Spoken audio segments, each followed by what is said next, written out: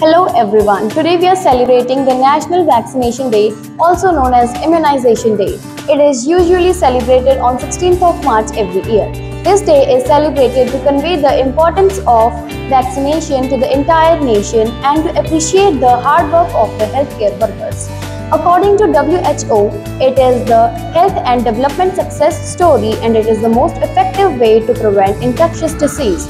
India has launched its first vaccination BCG over 50 years ago to prevent tuberculosis. Every year on this day, many children are given polio vaccinations in order to prevent polio. India has started post-free COVID-19 vaccinations to the individuals.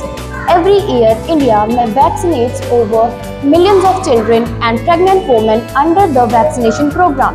To conclude, every person must get the vaccination done timely because it not only protects you but also the one who cannot get it. Thank you.